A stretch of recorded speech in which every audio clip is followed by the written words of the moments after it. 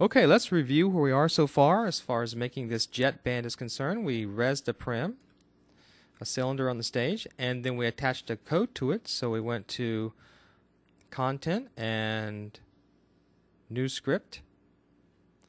We renamed the script to Jetpack or Jetband. Double clicked on it, and that's the default code that comes up, and we replaced that with Jeff Heaton's code. So Control V to do that and there's the code and we saved it and it compiled and we're ready to go. And so what we want to do now is actually shape this into an attractive jet band that will fit around my right arm. And I'm actually use four commands to do that with. I'll use Control Shift click to resize, Control click to rotate, Alt click to zoom, and Control Alt click to pan. So let's do that right now. Let's uh, bring this object a little closer to ourselves so we can work on it a little bit. There we go. Let's go ahead and control shift to resize. I'll grab this blue control handle, make it smaller. I want to put a hole in it, so let's go to uh, object and just go hollow.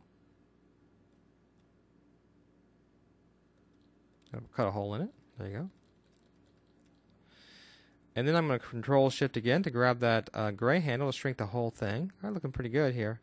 And let's go ahead and attach it to my arm and work with it on my arm. So we'll go more, attach, right arm, and upper arm. And it's not quite where we want it to be, so we're going to hit our Alt key now and zoom in on it. There we go. A little bit large, so we can actually resize it here. So let's Control Shift and resize. There we go. And let's kind of rotate. Let's rotate the position. So let's hit Control and rotate. There we go, making making good progress here. And let's shift. Uh, getting pretty good. Let's uh, Control Alt to pan around. There we go.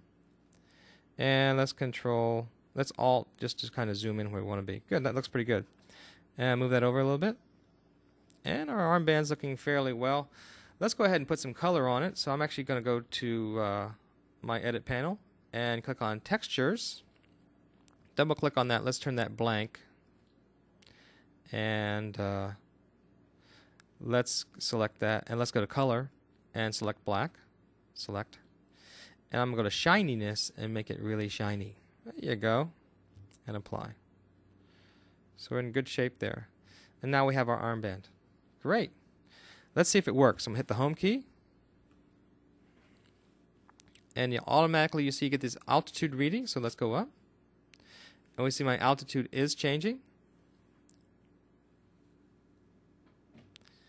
And I'm moving higher and higher into the sky. Very good. But I have a problem here with this. And my problem is, is when I go back to the ground,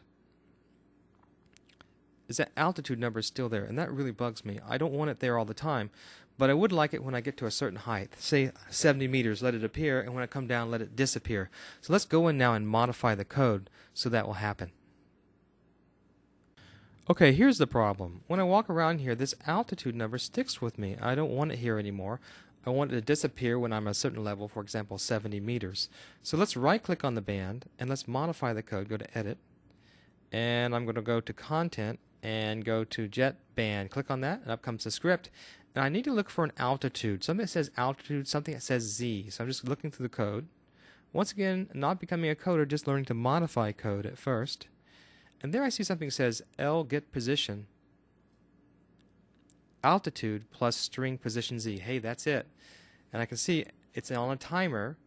So as my position changes, this timer fires and it's adjusted according to this altitude. But what happens is it happens all the time when the jetpack's attached to my arm. I want it only to happen when I'm above 70 meters. So I'm going to type in some code here. Let's use the if statement. If pos.z is greater than or equal to 70. There we go. Let's go ahead and close that. All right, and we're going to put that in curly brackets. Then I want this statement to occur. Let's open that up a little bit. But if it's not greater than 70 meters, there's an else. Basically, I'm going to just take this statement here and just modify it a little bit. I'm going to use Control C to copy and Control V to paste. And if it doesn't, hey, let's nothing happen. There you go. I'm just going to leave the quotes in there and take that away. And then so if I'm not above 70, basically the uh, set text will be set to blank. Let's go ahead and save that code. And it compiles successfully. Hoo-hoo, that's great. And now let's take a look and see if it worked. So now that I have the band scripted, let's go ahead and take it back into my inventory, detach it. I'm going to my inventory, I'm going to give it a name.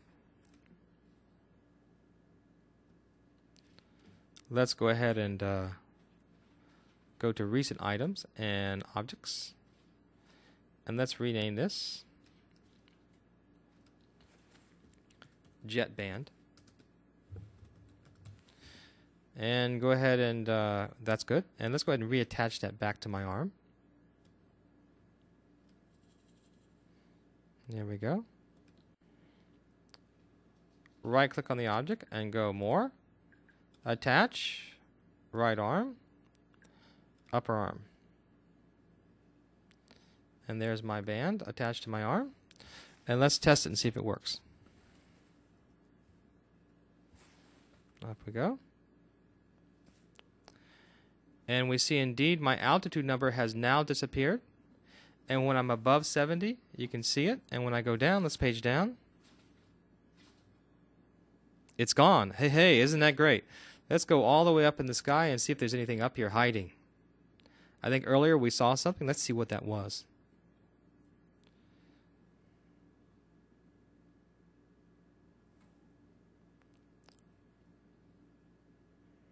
I'm above 200 like I want to be. Let's look around, see if there's anything up here. Oh, there's some cubes up here.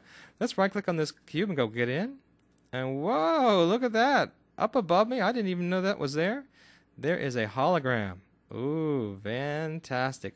Well, that's another reason to uh, zip above 200 meters, and you can do that with this jet band. Just a review real quick. I just made a small code modification. This is the way you want to start off when you're just programming. Let's use the if position greater than 70, and if not, set it to blank. Hey, guess what? Buy Jeff's books. Uh, they'll give you a real leg up when it comes to programming in Second Life. And don't worry about all the details. Just get the structure and start modifying code, and from then on, you'll eventually find out that in just a short period of time, you'll be a great coder.